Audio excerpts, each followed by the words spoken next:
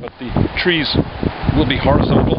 The apples are still supposed to be on them. I think it is sort of an Adam and Eve trope, but I really don't know the details of it. Yeah, I think it's called creation. Okay. So it's definitely biblical. Do you feel like your trees are biblical enough?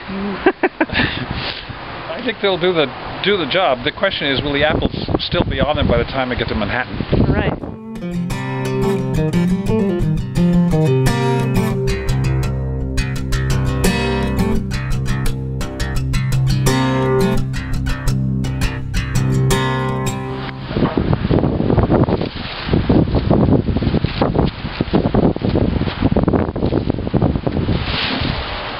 Now, are these big apple trees comparatively? These are relatively old trees.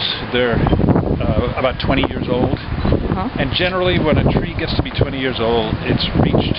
Uh, it, it continues to produce apples, but it's not cost effective anymore.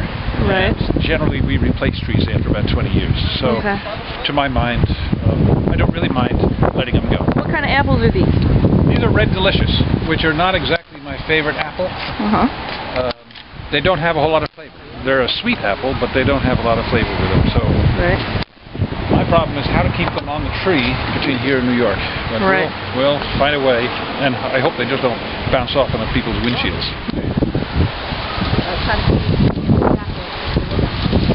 So now we're going to have to get these branches down. They're really too tall. Yeah. It's the maximum height is 13 feet above ground level. Oh. You know the bridge in Mattituck, the overpass? Yeah. It's more or less at this level. Oh, yeah. We can't have it be anything more than that.